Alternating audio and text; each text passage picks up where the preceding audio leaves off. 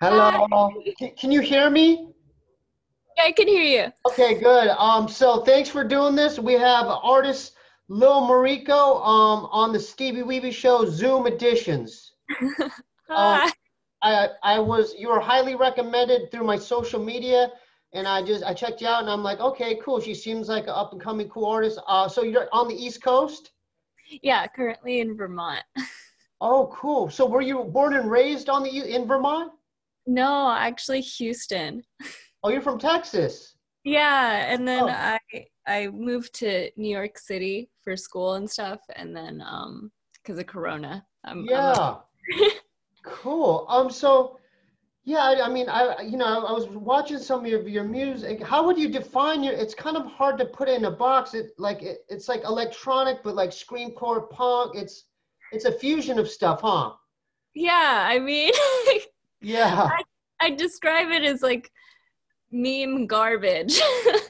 But it's unique. It's it's different than you can't really categorize it. It's just you're doing your own thing. I, I I guess yeah. I mean, it's just kind of like a um just like mixture of like a bunch of different influences, just to like make this like kind of trashy, like kind of fun. It's fun. I, I- I'm glad you said fun because it seems like you're having a lot of fun, even in your videos and everything. Yeah, I mean, like the, the whole thing started as just like me and uh, my boyfriend Jared just like messing around in the studio and just like you know like hey let's let's make a funny song. We're bored. And- Now, Jared, does he go by Full Tac? yeah. Okay, see, I did my research. I'm like, okay, Awesome. Yeah, because I thought either that was the case or you're like, like you guys were like in a group, or but you just said it. Okay, so Yeah. let's talk about some of your um your history and your back. So you're originally you're originally from Texas, you said? Yeah, um, Houston, Texas. Uh, I lived there for most of my life, but traveled a little bit when I was younger because my dad's job. We moved around a bit, but we went back to Houston, and I like finished up like middle school and high school there. What what was it like? Um, I've never been to Texas. I I'm I, I would lo- I, I would love to visit Texas. Are there a lot of Asians out there? Uh, you know, it's funny. Houston has like extremely like diverse like demographic, right? But uh, the area that I happened to live in, Houston, was not diverse at all. So I like went to this like giant high school, and there are literally like ten, like less than ten Asians in my grade. Whoa. Yeah, like my graduating class was like a thousand something kids, and there's literally like less than ten Asians. That's not a lot at all. yeah. So you that's crazy. Uh were you self-conscious about that? Did you all like know each other? Like how did that work out? I feel like I was shunned by a lot of the other Asians for being crazy. Oh, I, so you were an outcast amongst the outcasts. yeah, a little bit, yeah. Wow. So typically, I'm not trying to generalize, but I, I got to keep it real. Usually, like Asians, that they're uh, they're considered studious. Um, they're they're they got their shit together. They're gonna either be a doctor, or lawyer, or you know do some kind of profession like that. And I take it that you you didn't kind of mesh well with that type of thing. Not really. I mean, like, grade wise, like, I was fine. Like, I still kept up that, like, Asian standard. But, like, Yeah. I Were mean, you I in went, the band? Did you play instruments in high school? no, I played violin in middle school and then very quickly was like, I'm not disciplined enough for this and just kind of. Okay, yeah, I messed with the violin uh, as a kid. Yeah, Ozzy's Yeah. music. I messed with it. Yeah, Suzuki method. yeah, yeah, so yeah, Suzuki. Yeah, exactly. Suzuki method. Yeah. Uh, Um, so when did you take an interest in like music, just making your own music, and uh, like what are some of your influences? Like, grow, uh, what you grow up listening to, like bands and everything. Um, hmm. So I don't know, I was always kind of into music when I was younger. I listened to like a lot of metal. so oh, like so Lamb of God, Children of Bodom, Uh huh. Arch Enemy. Uh, I kind of Okay. and Iron Maiden. Iron Maiden's not really metal, I was just know. gonna say Iron Maiden. I was um I didn't get into it later, but I remember all the kids who wore those shirts. It's like scared me because it was like it reminded me of like you know like like those horror film posters like Evil Dead or. You know, it remind like you know, what was the dude's name? Eddie. the, the character Eddie, the the evil demon looking dude, on all the shirts. It just scared me. But then I like actually listened to their music. Like I love like um I guess the one that resonated was like Run to the Hills. Oh yeah, it's a good and I'm one. like, oh, this is like, um, I was a jock in high school. I was like duped into wrestling, and so everyone would like, so, like the heavyweight of our team would always put in like, like back then it was tapes, you know, and we work out in the weight room, and then he would put Iron Maiden, run to the hills, and I was like, oh, this is cool. so I thought. I'd share that. yeah, I mean, um, Iron Maiden's a great. Great. Yeah. So did you um did you attend any uh heavy metal concerts in high school? Uh, not really. Uh, mostly because I didn't really have any friends that were into it. I managed to dupe a friend into coming with me to a Circa Survive concert, but Circa Survive's not metal either. It's like more like progressive Yeah. kind of. And then Um. And then how long were you? So you, how long were you out in Texas before you made? You said you mentioned New York too, right? Uh, yeah. So I I stayed there till 2014, just until I graduated high school, because like just the area I was in, I just wanted to get the hell out as soon as I could. Yeah. Yeah, I, I went to art school in New York City, Oh, uh, what's the name of the art school? A Pratt Institute. Oh, cool, cool. And then how what was the transition um being from Texas? Because that's a huge difference, right? Texas to New York. I, I, I thought it was okay. I mean, pri- prior to Houston, I lived in Taipei and Shanghai for a little bit. So, like, I was kind of like, I kind of already knew what to expect. And I have like some family up in New York City. So, like, Yeah. I had visited before. So, it, it wasn't too bad. Also, Pratt is in Brooklyn. So, we had like a bit more of a campus community in comparison Yeah. to other uh, art And there's more like, Asians out there. yeah, a lot more A Asian. lot more, right? Oh, that's good. Yeah.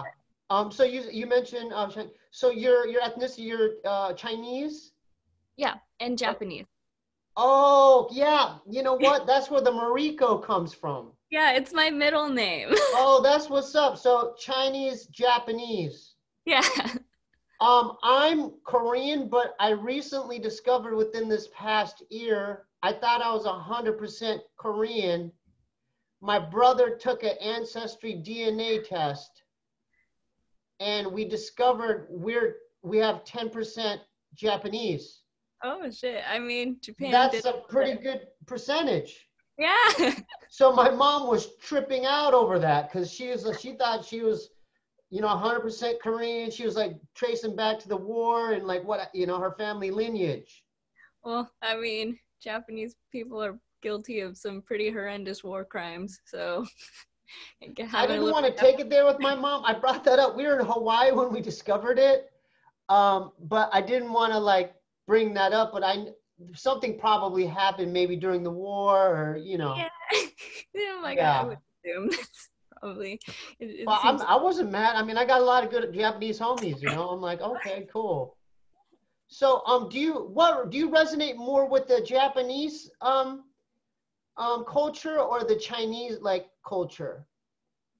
I don't know. It, it's really hard to say. It's just like on top of that, growing up in the like in the U.S., it, it kind of like really fucks with your sense of identity. So it's like in like whenever I'd go back to Japan, it's like I'm not Japanese enough because I'm already half Chinese. On top of that, I'm American. On top of like on top of everything, and then like in China, it's like the same thing. It's like oh, but you're Yeah. So basically think- getting rejected No, from I like hear you. I hear you. I hear you. Um, when me and my brother uh, went to Korea as kids, um, we were about. I, I, how old is like maybe third or fourth or fifth grade? like ten. I don't know. So yeah, we were around ten. Um, he had an electronic watch, and he we got mugged by some uh, local oh, neighborhood kids. They because they knew we were Americanized. Ooh, they can smell it. I, I was going to ask you. So when you visit Japan, do they have like a like a, a feeling of oh she's not from here she's Yeah, de- for sure. I mean, like, I, I think when I go back, like, people more, I like associate me with being American. just with, Yeah. like, dress. Like I speak English, you know. So yeah. I, I I actually try not to mention that I'm Chinese. And I do the same in China where I like don't mention I'm Japanese because I feel Oh, like that that's so makes it more interesting. complicated. So you you just do it. It's um circumstantial. It's situational. yeah. That's so interesting because you would think, you know, that's what I don't like about Asians and like the, the, the because Asians like not all Asians, but like in a stereotypical sense, it is true. Like they they're really judgmental. Like, you know, Yeah. like Koreans are towards Japanese and the way the Japanese or towards Chinese, the way Chinese look at Filipino. You know what I'm saying? It's just Yeah. everyone's looking um like I don't I never understood that, but do you think there's something to that that, that exists as this hierarchy, right? There is, yeah. Especially like I, yeah, especially in Japan, I feel like just Japanese people are very, mm, just like not as welcoming towards like, like Korean or Chinese. In general. Yeah. Um what um because I've never been to Japan. I, I mean because it's I would I can't I would I need to go there and visit there before I die. for sure. Tokyo. So you're saying that you just have a feeling when you're visiting there there it's not the same as if you were like 100% Japanese and you you go there.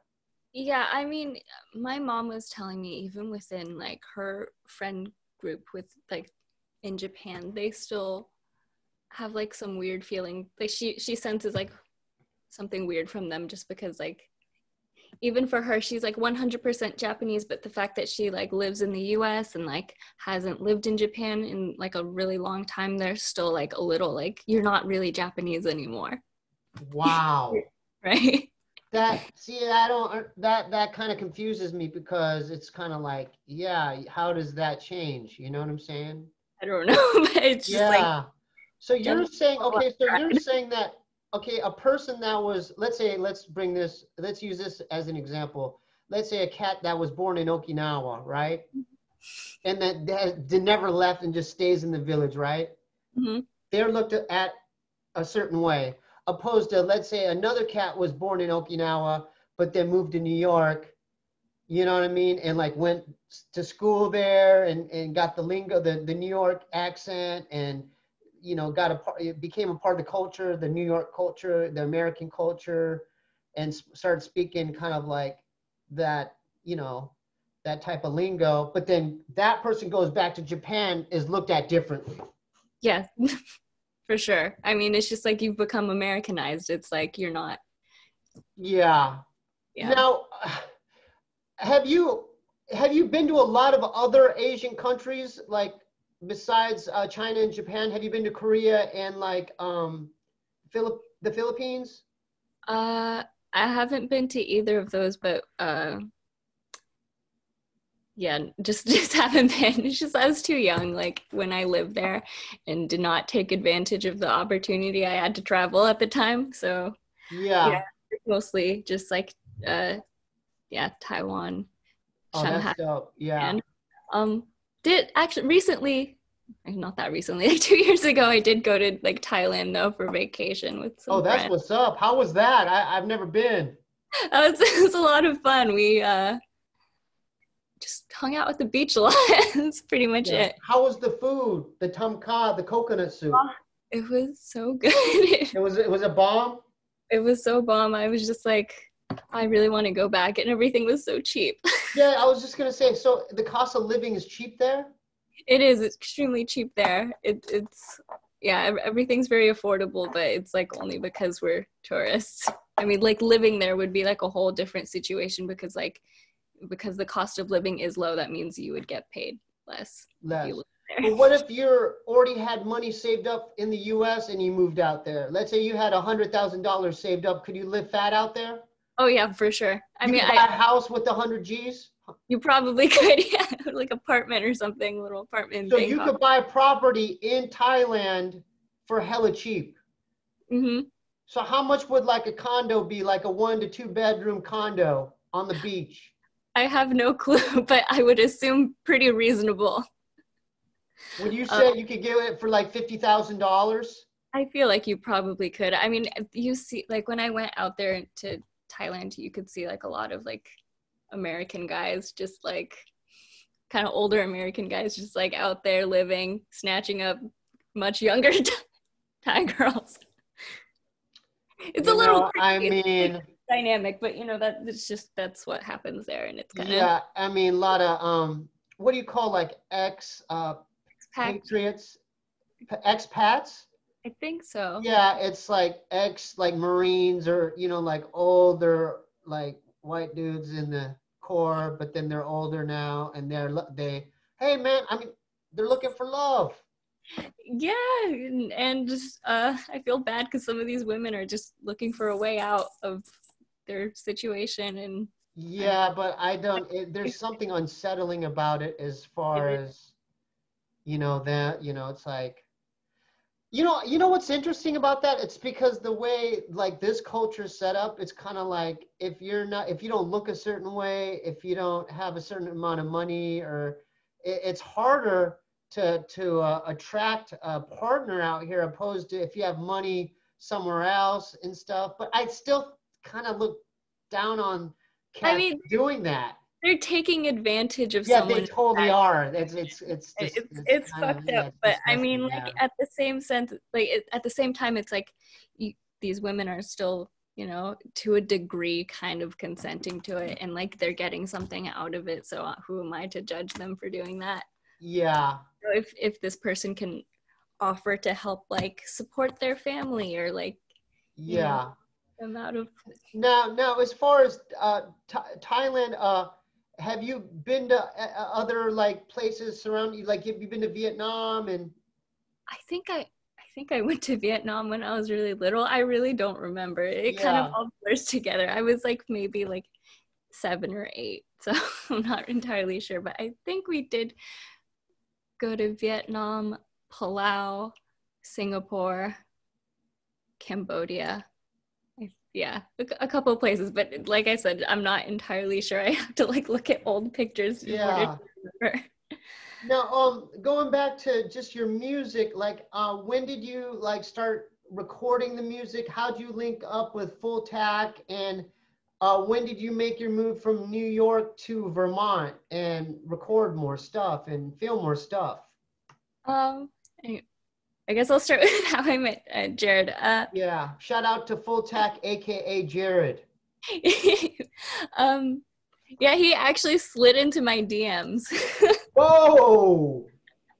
Jared slid into Lil Mariko's DMs. What was his opening line? I mean, he like, I had followed him on Instagram first because a friend of mine had shown me some of the video work that he was doing, and I Yeah, thought, I followed him. Interesting. Yeah, for sure. And um yeah, I just followed him and then he asked me if I could model some like shirts for him. Whoa, he, he he pitched you with the modeling line? Yeah, I mean he was very professional. He didn't pull anything Oh, like okay, it was a professional, like, hey, um, I have this photo shoot. I need, I'm looking for models. yeah, so like available? Do I have to contact your agent? it, it was much more casual than that. Okay, it was more casual, but it was professional. Yeah, I mean like I, I went over to his place, we took the pictures, like we hung out for a little bit. Were they provocative pictures or were they just normal, like you and uh, day-to-day attire? They- They're pretty normal. I was just like, I mean, it was just like a big oversized T-shirt that was like pretty much a dress on me. All right, cool, cool, cool. Continue. We shot them on his roof, and we also went to like a shooting range. Um, I, so I used to do archery as well. So um, Oh, that's what's up. yeah, he took me to a shooting range, and he like just took some footage of me like shooting a bow and arrow, and Uh-huh. that was pretty much it. And then like. I think like a month later, I like hit him up. I was like, "Hey, let's hang out." Yeah. And um, So you guys got along immediately. Uh, kind of, yeah. yeah, I mean, we, we were like friends pretty quickly, I guess. Um, but yeah, wait, what year was that? I think that was like 2000, 2018. I had just graduated from college. So Oh, that's what's up. yeah, I was just kind of like a little lost because I mean, I went to art school. As you can imagine, there's not a whole lot of career opportunities in that particular field. Um, so yeah, I was just kind of doing some freelance work and like illustration modeling stuff. So Oh yeah. So what kind of free? You you mentioned uh, illustration illustrations. yeah, I, I went to uh, Pratt for illustration. like oh, cool, cool, cool. uh, yeah, and um, I guess after that he like later started getting more into making music. Uh huh. We were just like he was working primarily with this other artist, um, and I I would just kind of be there because we were kind of seeing each other at the time. Yeah, like what kind of where? What was he making his stuff on? Like what kind of like instruments and everything? he was using FL Studio, so just Oh, cool. So he would Um, make all the beats and, and electronic sounds on that? yeah on FL like Omnisphere and like um he he's more recently started getting into like more of the hardware like side Yeah. of- Um, now describe what uh, what you FL Studio you said. um, describe to the viewers and listeners what exactly that is. I'm the worst person to ask this. No, no, no. You just do your best. Basically, it's like a garage band but less shitty. Okay. I use GarageBand. so I- I- now I'm, I'm, I don't take offense to that. Now, personally, I have to look up this F, FS Studio. I feel like FL Studio is a little bit more user friendly and just um when it comes to like making like the drum portion of a beat, it's like much more like intuitive and FL. Now, is it for PC or Mac? uh, either one. Um, where could I purchase that? I think you could just Google FL. I just Studio. Google it and I, I could just get it. Um, it's software. Yeah, it's just software. Yeah. You know, the reason why I like GarageBand is because I know how to use it. It's like easy for me to like just cut and edit and I get my idea on there fast. But you're true. saying the F, uh, Sadie, is it a FS or F1 studio? oh, FL. Okay, FL Studio allows you to not only record but create drum patterns. Uh huh. just yeah. Uh, I'm really not the g- good person to ask this. I only just started learning No, it's to. okay. Just do your best because now, because I'm interested. Um, people might say, "Oh, Steebee Weebee's cheap. He won't spend money on anything." That's not true. I'm changing my ways. I've invested in more uh, of gear towards my uh, platform and just creating stuff. Yeah. Uh, for recording audio, I don't think FL is good for that. Um, what is the other program that we use? Wait, Pro let me- Tools. No, no. Uh, wait. It's lo- oh, Logic is better. Logic. Lo- yeah, Logic Pro is better to use for recording. I think that's usually what Jared uses. I hear that a lot. Or Ableton. Yeah. Um, Yeah. FL is like really like only good if you're doing a lot of stuff that's like heavy and drums. Everything else. is Yeah, like- I mean, I usually ju- I'm, I'm sample heavy, so um, but I'm always looking for some new some some new drum patterns. Hmm. Yeah, Yeah, it's, it's FL to- Studios. I'm writing that down. so tell me more. So okay, so um, you and uh, Full Tac, when did you start coming up with these concepts and the style, your style of creating your specific type of music?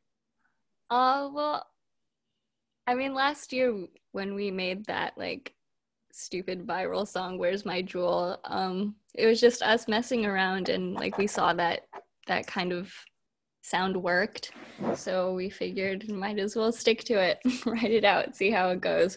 So Um, you you mentioned sound. Like, how did you even discover that? How did you create even begin creating a sound like that? Did it just?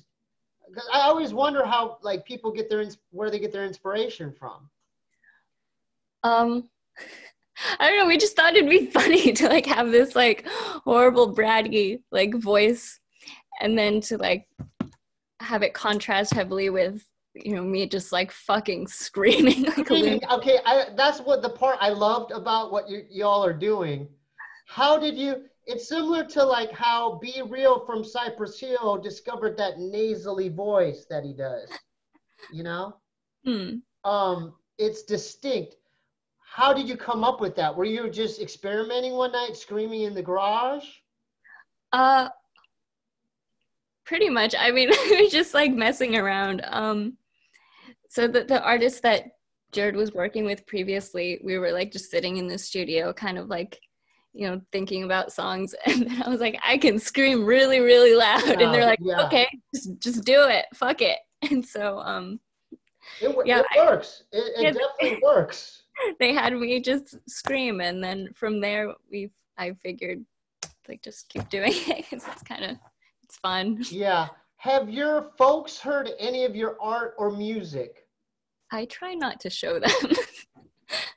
yeah, generally I don't really show them. So no, I don't think so. They're like, "What are you doing?" And I'm like, "Yeah, music." they're like, "Can we hear it?" I've abstained from showing my mom as well. yeah, I feel like she, my mom in particular, would be very disappointed. yeah. Um. Have you ever thought about doing it? Because I actually gave my mom a CD, and years later, it was still in the shrink wrap with dust on it. So I'm like, well, she don't even know what to do with it anyway when I give her my music.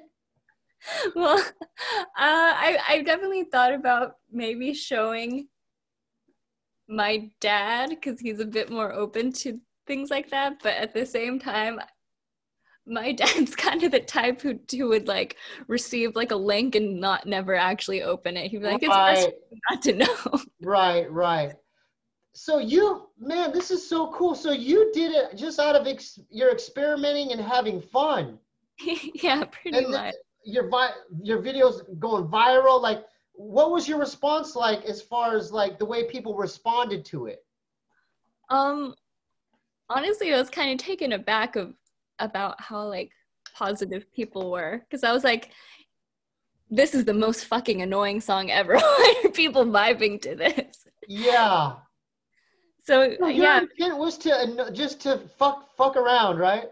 Yeah, just like make a silly song. It wasn't supposed to be like super serious or anything, but yeah, I mean, I, I'm glad that other people picked up on that too. Just like me and Jared having fun. That's awesome. I want to I want to actually like just just kind of review what you just said there and I think that a lot of aspiring artists could learn from what you just said. You're like, dude, I was just having fun and it's silly and, and your intent wasn't to like do a certain thing you know what i mean yeah it was I, just to have fun and then just surprisingly people liked it you know what i mean yeah i, I mean i i've noticed like a lot of artists nowadays um especially like younger ones like very, oh, very serious methodical. yeah they're super methodical and it's like if something's not fun for you then don't do it yeah, yeah. I like that too. Let's repeat what you just said. If something's not fun for you, then don't do it.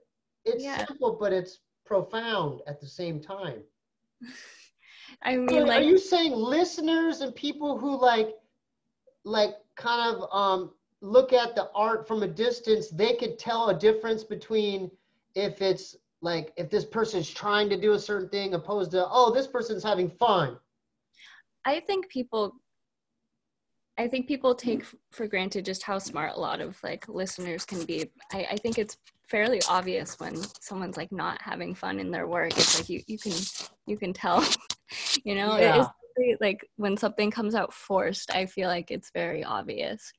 Um, you know, and it's you know, I that's fine. I, you know, it's like if you're trying to reach like a certain level, like there are steps you have to take to get there. But um, yeah I, I don't know just like even if you like fuck up or make something like really horrible or shitty it's like who cares like that's part of the learning process just put it out there you know that's you're not so cool. I'm, I'm glad that y'all decided just to do it out of fun and you had the right attitude to create it. Um now have y'all like what was like it like doing your first shows and stuff? Oh i haven't done any shows yet.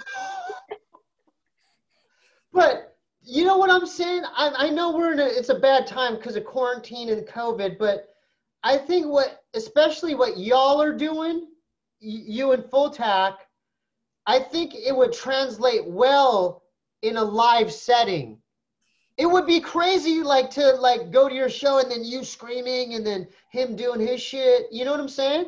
it's true. I mean, I I just recently got like a like a booking manager, so she's going to help me with all my tours and stuff. But I mean, I have a lot of anxiety about it, just in general. I mean, growing up, I'm like was always pretty reserved, so the idea of getting on a stage and screaming in front of a lot of people is a little horrifying. But I'm Yeah. hoping, you know, I'll find find my groove in that and just kind of Yeah. I mean, my my suggestion is just have the same outlook and attitude the same way you have towards your music itself and have fun. Yeah, I mean, If you're having fun doing creating it, why not have fun when you're performing it as well, you know? I mean, I figured at the very worst, I'll go on stage completely blindfolded and just pretend no one's there. Oh yeah, I mean, I was uh, in my band Mangchi uh, for when we one of our shows. I put on just all all naked, but with just a nut cup. Wow. yeah, so I had a hockey nut cup, and then um, one of my bandmates painted all this crazy stuff on me, and then for one of the I don't know what tour it was, but one of the on one of the dates on the tour, he dared me and begged me to put on to put in an anal um like an anal ball. Oh, In my butt plug? What was it called? An A anal plug. So it was, it was uh like an anal plug, but with um, uh, like a raccoon tail oh, I know exactly what you're talking about. sticking out of the anal plug. Oh, did you do it? No, but this is what he did. So oh, it was during. Okay, I know, I remember now. It was for uh, our. We were in Tacoma, Washington. Mhm. We're in. Uh, where is that? Where it is? It's no Tacoma. Is that Seattle? Right. Hold up. Let me look at the. My my, my geographics are wrong. That's okay. Yeah, Tacoma, Washington. Tacoma, Washington, at the art center there. He before our um our sound check, hmm he ran to um uh, uh like adult porn store, and he bought it and brought it to the bus. Oh, wow. And I thought about doing it because you know it, it's kind of like he dared me to. I think there was like You money would. involved too. But I saw how thick the uh what do you call again? The ball or the bead? The plug part? The plug was like a oversized kind of an egg. I mean, so if you think- haven't put anything up there before, No, uh, no, exit only. Yeah, my butt's only for pooing. Um he didn't So- provide lube, nothing. He just handed you the fucking plug. yeah, he took it out of the box and I think that my um butt would have bled it would have blood would have would have come out. Yeah, if you went in there dry, for sure. Oh. what did you You have say? to put lube on it, otherwise it's No, not going ma'am. anywhere. No, ma'am. No, ma'am. That's no, no kind of lube in my um anal region there. No, Okay, well, it's not. I yeah, I exit only. But um, I forgot. I kind of got off topic. I'm so sorry. Uh, what what what was I talking about? music. Oh, performing and just having fun. So I said, for you, since you had fun making the music with um, Full Tac, why not do have the same attitude in performance? That's true. That's very true. I, I mean, I, I feel like now that I'm older, maybe performance anxiety will be something a little bit easier for me to overcome because as I get older, I realize I don't care anymore.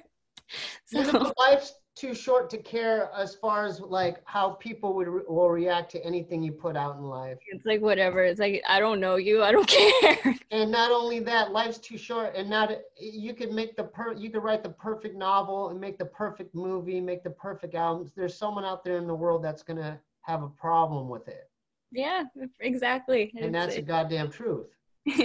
exactly. Um, I wanted to encourage you though, once this um, epidemic, I mean this pandemic is over, um, to yeah. I, I mean, I think people who even watch this, then they'll get familiar to who you are. They'll they'll come and, and see y'all perform. Yeah, I mean, like to like also I'd keep in mind like people who would come to a concert of mine probably are not expecting like some immaculate performance anyway. Yeah, they're not expecting like Bjork. Yeah, precisely. You know what like, I'm saying? Or like Radiohead. like they're not gonna get none of that. They're here to No, see they're gonna see something crazy. exactly. So You know, you know what I picture with. I mean, this is you don't have to do this, but I picture when you you when y'all perform, fire will be involved. Like you guys will set sta- the fire on stage and crazy costumes. yeah, that I mean, that would be literally lit if I had Yeah, fire. that would be that would actually be lit. Yes, it would be lit. it would be very lit. I don't like that word. I don't like certain lingo as far as you know, but but I like it. it it's um it makes sense in this particular uh, scenario. It would actually be lit because I'm Yes. I, I'm asking y'all to use like a fire. yes, that would be great. Yeah. Now um. We're getting kind of towards the last 10 minutes of the interview. I mean, this wasn't that hard. I mean, how are you feeling um, this far as far as our the interview? Uh, good. I mean, like I I don't have a lot of interview experience, so I'm kind of It's fine. I mean, you were fine.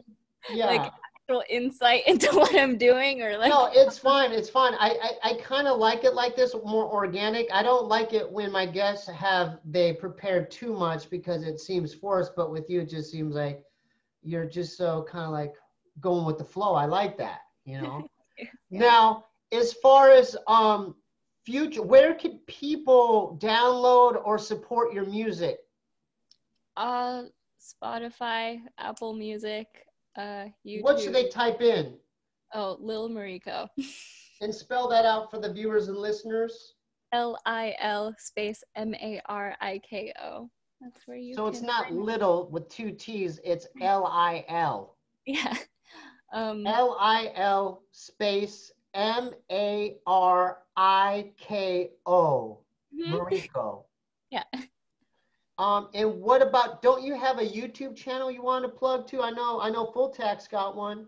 Uh, no, I don't have one. I just kind of leave the uploading up to him because I mean he's. Can we plug Full Tac's? I mean, because your stuff's on there too. Oh yeah, that's. Oh, I'm such a piece of crap. I don't even know You YouTube. gotta look out for your boy. Let me double check. I think on YouTube it's just Full Tac, no space. That's F U L Oh, there- space T A C. Yep, there you there. Oh, that's good. I'm glad you did that. Okay. Full. Tech in full effect. Subscribe today. And so, what about merch or um, anything of that nature? Uh, I have zero merch except um, I do have shirts that have my illustration on it that I printed like two years ago that I'm What's still up? getting. How can how can how can fans get a hold of that? Oh, um, wait, okay. I don't, I don't know any of my own plugs. Isn't that awful? You better get this program, Lil Mariko. I know, right? Uh, oh, okay. Wait, one, one second. I'm such a piece of crap. I'm sorry. Okay, well, I'm an Etsy, and my Etsy is Mariko Zhang. So M A R I K O Z H A N G, and Um, Yeah. Spell that out one more time. oh, M A R I K O Z H A N G. That's my Etsy, and you can find it through my art account, which is just okay. And what types of stuff is on your Etsy? Just that one shirt. Okay, how much for a shirt? Uh, I 25. I can show it to you. Yeah, When- show it to the camera so the viewers. I mean, so the yeah viewers could take a look at uh, what they're gonna get. Uh, One second. Yeah. it's okay, I have to go get it.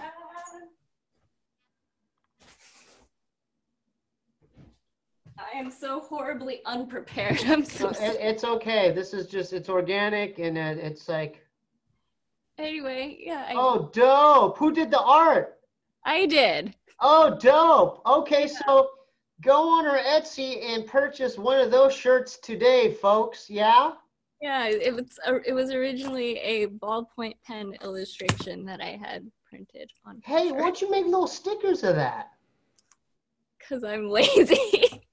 Well, I'm just throwing it out there. That'd be dope. It's true. Uh, I yeah, I, I don't know. It was just like the whole printing process was very complicated, and I never. Oh, did you do it yourself or did you go through a manufacturer? Uh, I went to like um, I printed them out through like a friend of a friend. so Dope. like- So how much do you have in stock? I think I still have like I want to say like 20 shirts left. So, folks, get your shirt today. There's a limited supply. There's only 20 shirts left. Okay. Get it today on our Etsy. Say it one more time. What's your Etsy? Mariko Zhang. that, that's that's my Etsy. Um, yeah, I'm sorry. This isn't a very compelling sales pitch, but No, you know, this is going to work. M A R I K O space C Z H A N G. Did I say that right? yeah, I think so. Okay. Any um future uh videos uh, that you're working on right now and uh pro- future projects or albums, EPs you're working on right now that people could check out? Uh, well, right now, uh, we are in the process of filming the Shiny music video. I intend on covering my entire body in glitter for that. So, Dope, dope. and That's creative. um, That's creative. we finished recording uh, this new song called Simp. Oh, I like um, that. How'd you get the idea? Where'd you get the concept from? Simp? Yeah. I just thought it was a fucking funny meme thing to call someone a simp. Simp. Oh, so what is that short for simpleton? No, uh, it's like. Uh, Like wimp? No, no, no. A simp is like a wait, fuck. What? There's like a whole acronym for it. It's um, shoot. I'm. I need to find that out. it's like sucker for like. Oh, sucker idolizing mediocre pussy. Okay, I've never heard that before. A simp. It says someone way too much for a person they like. Okay, so, yeah. so what's the one you got? sucker idolizing mediocre pussy. Okay. Okay. It can also mean a silly or foolish person as well, right? Mm-hmm. So there, there could be two different meanings. yeah, I I mean the the song kind of revolves around um Your definition. yeah, like a guy who's just like weirdly obsessed with a stranger on the internet who they've okay, never okay. okay And then when, is that how close? Is that done? Is that finished? uh almost finished. We're still um kind of EQing it and like fixing up the beat, but hopefully it will be out soon, either next month or um yeah, possibly next month. We're just still just like we just kind of like do things on our own schedule. it's Now, where can people? Are you on Spotify or um, SoundCloud or Bandcamp? Is there any other platforms to reach your music? Uh, yeah, I Apple Music and Spotify. Uh, the SoundCloud is just Jared's SoundCloud, which I think is also just Full Tac. Um, hmm I'm trying to think where else we post our music. Oh, at YouTube as well. I think um, Yeah, voted there. Um, that's cool. That's cool. Well, that's. I guess I think we covered it. Do, do you think we missed anything? I didn't want to miss anything as far as um. uh, not that I can think of. Oh, your Instagram. oh yeah, it's just um, kat M A R I K O Z. Okay. Yeah. Um, but it's under Lil Mariko too on your Instagram, right? Yeah, like I think I put Lil Mariko for the name, but the actual username is Kat Mariko Z. Yeah, okay, so let me spell that out. It's K A T M A R I K O Z. Yeah? Mm-hmm, that's correct. Thank you for your time and the best of luck to you and Full Tac. And I hope you all create more fun music in the future. Thank you for having me. Okay, thank you. All right. Bye. Bye bye. Ooh, okay. okay. Bye. Okay, that's it. That was the Lil Mariko um, interview. Thanks for tuning in. I have a couple shout outs, okay? Um, so we have a Patreon attached to the show. If you want to help support uh, the platform to keep to keep it going, uh, go to uh, patreon.com slash Steebee Weebee. Um, I have a website. Uh, if you want to pick up any merch, it's uh, SteebeeWeebeeShow.com. Okay. Just keep in mind because of the pandemic and the coronavirus, shipping is going to be a little bit delayed, but I'm on top of it. Okay. I check every day. Um, the newest patrons this week are John Rehill, Mel K, and Justin Virin. I hope I'm saying that right, uh, Justin. Uh, we're still working on the music video, The Pod in Which We Travel. We're on post production for that. Um, just working out some final details. Be patient with me. Um, my Instagram's at Instagram slash Q U A N G O U. Um, my Bandcamp's SteebeeWeebeeBandcamp.com. You, all my, um, like 90% of my albums are on there. So check that out. I'm currently working on a new project, a concept project. Um, it's a Gene Wilder Stir Crazy project, kind of um, based around the whole Stir Crazy movie. It's one of my favorite uh, movies of all time. Rest in peace, Gene Wilder and Richard Pryor. But um, I'm I'm on I'm I'm I'm I'm done with one song. I'm on my second beat, and so I'm on it. Okay, and I'm having fun doing it. I mean, it's uh, as far as the different types of uh, loops and samples I'm finding. It's it's going to be different than the ode to my pie. that was more depressing because I was going through you know my father's death and that was an outlet for that type of music. But this is more.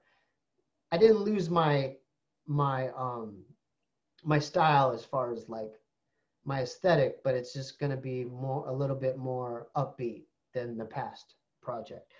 So um, that's why Little Ray is still out um, near the Zeta Reticuli constellation. I didn't, you know, he's not dead, but he's taking a break right now because Stevie's working on some new, uh, new project. Okay, I do have a PO box if you want to send in um, any uh, letters or um, boxes or whatever mail.